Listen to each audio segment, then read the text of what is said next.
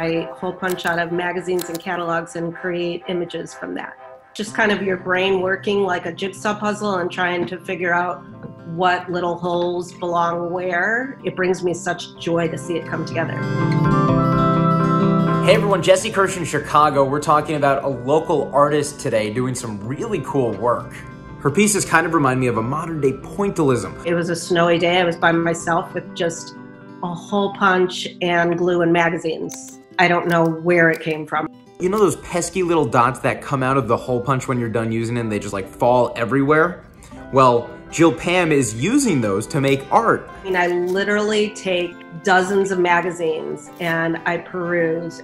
This dot belongs here, that dot belongs there. You start seeing this image and this life come together. It brings me such joy to see it come together.